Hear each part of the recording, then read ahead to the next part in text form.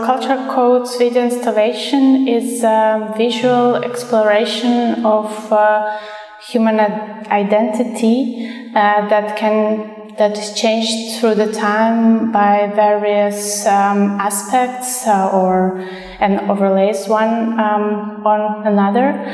Um, so very important element of that was uh, to work with memories.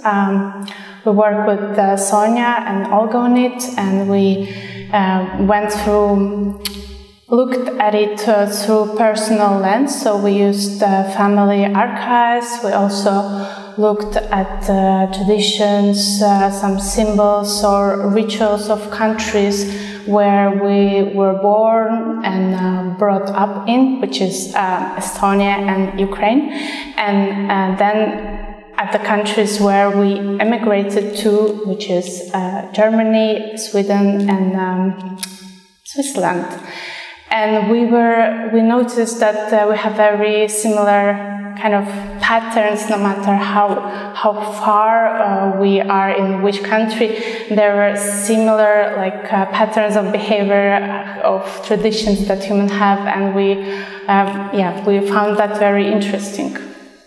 We were working uh, with the personal archives, looking into our childhood, um, for, like physically we were working with uh, videotapes, photography, drawings, um, thinking about like researching what uh, were the traditions, um, trying to remember what we did with our families that was uh, sometimes bizarre, and we'll try to um, find out why we did uh, certain things and or why in this culture we did certain things. So um, yeah, we were exploring that.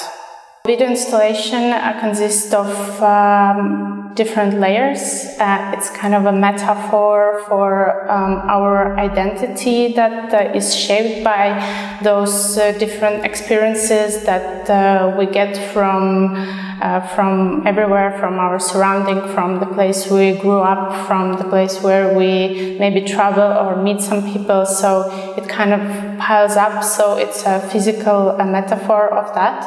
Um, and then we try to really um, to create very meditative space so you can actually wander around those codes uh, or layers and um, and experience it um, in a visual, tactile, um, um, yeah, have this kind of experience. also, Sonya created sculpture, series of sculptures, and that comes from her also personal experience because uh, her grandmother is a ceramist, so she thought that she needed to use that form to express that too. Um, and also important role uh, playing sound. Um, I talked to Misha Panfilov, and um, when he kind of connected to the concept and idea.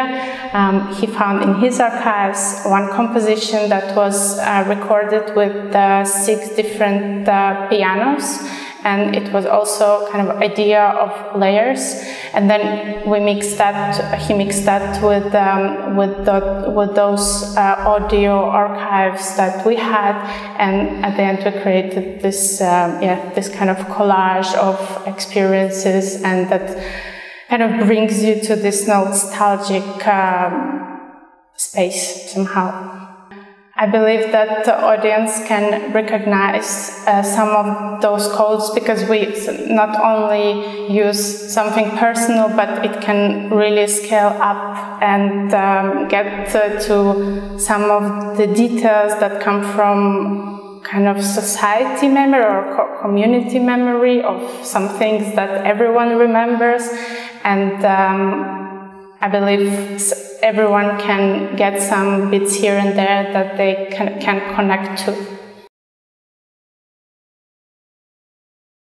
Uh, so we are, it's our debut as an art, collective, but uh, usually we used to work together uh, many years uh, as a design collective. But we found um, it interesting to go to, towards like artistic direction as a collective. We enjoyed to collaborate and work um, together no matter where we are actually at, because we we are um, are all in different countries even today. So um, yeah, we keep doing it. Design tries always to change, not change, but um, solve certain problem, and there are certain restrictions to it. Um, and art, in that sense, is uh, has more freedom because you can have also a problem, but then you are free to explore it, and there is no right or wrong answer to that.